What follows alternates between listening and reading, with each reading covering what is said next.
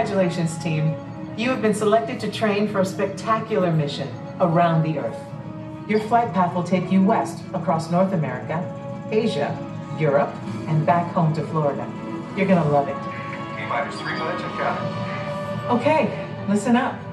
Here are your assignments. Navigator, you'll be adjusting the pitch of the X2 if necessary, and firing thrusters for your descent. Pilot, on my signal, I'll need you to trigger first stage separation. You'll also be triggering the landing sequence. Commander, you will be responsible for activating the flight sequence and for activating manual